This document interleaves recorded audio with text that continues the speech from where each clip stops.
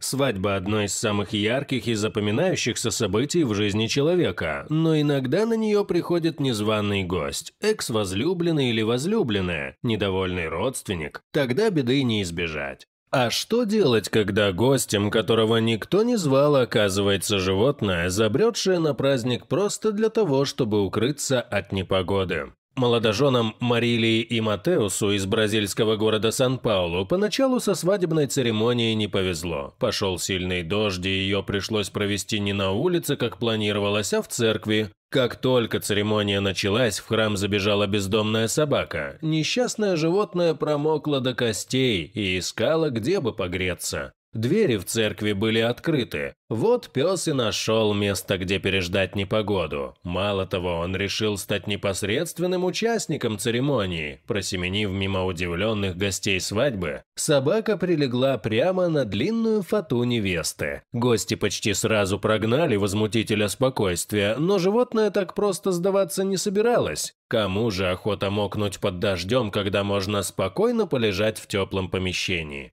Собака, сделав круг вокруг церкви, вернулась в помещение. В тот момент, как святой отец зачитывал клятвы для влюбленных, пес, как ни в чем не бывало, опять плюхнулся на фату Марилии. Такая наглость в самый ответственный момент могла взбесить кого угодно, но только не эту невесту. Девушка оказалась очень большой любительницей животных. Наоборот, история с собакой ее позабавила. «Если он пришел к нам, значит, будет нашим гостем», – сказала невеста. Поэтому Марилия попросила священника продолжить церемонию, несмотря на спящего пса. Как только молодые люди стали мужем и женой, собака поднялась и выбежала из церкви. Дождь как раз закончился, поэтому животное вернулось на улицу. Поймать ее никто не смог. В дальнейшем свадьба прошла вполне обычно, но Марилия и Матеус решили, что очень хотят найти этого пса. На следующий день они отправились искать своего нового друга. Но поиски в окрестностях церкви не дали никаких результатов. Собаки нигде не было. Затем к поискам новобрачные подключили все свое многочисленное семейство. Только через неделю розыски увенчались успехом. Кто-то из родных привел таки животное к Марилии и Матеусу. Для девушки это было лучшим подарком на свадьбу, к тому же пес оказался очень ласковым. Он быстро прижился в новой семье и стал ее полноправным членом.